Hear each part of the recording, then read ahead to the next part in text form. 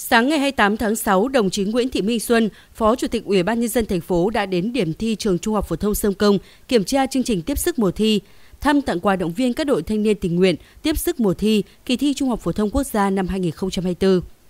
Ngay từ sáng sớm, các đội tiếp sức mùa thi đã có mặt tại các điểm thi, hỗ trợ phân luồng giao thông, phát miễn phí nước uống, đồ dùng học tập, bố trí xe máy để đưa đón miễn phí các thí sinh. Từ nhiều năm nay, tiếp sức mùa thi là một trong những hoạt động nổi bật của chiến dịch thanh niên tình nguyện hè đã thu hút đông đảo lực lượng đoàn viên thanh niên trên địa bàn tham gia. Qua đó khẳng định tinh thần sung kích tình nguyện, ý thức trách nhiệm vì cộng đồng của các cấp bộ đoàn, thanh niên sinh viên, góp phần đảm bảo cho các kỳ thi tốt nghiệp trung học phổ thông diễn ra an toàn thuận lợi, tạo tâm lý thoải mái cho thí sinh tham gia dự thi đạt kết quả cao nhất. Được biết năm nay thành phố Sông Công có trên 1.000 thí sinh bước vào kỳ thi tốt nghiệp trung học phổ thông năm 2024 thành phố đã thành lập hai hội đồng coi thi tại trường Trung học phổ thông Sông Công và tại trường Văn hóa Cục Đào tạo Bộ Công an.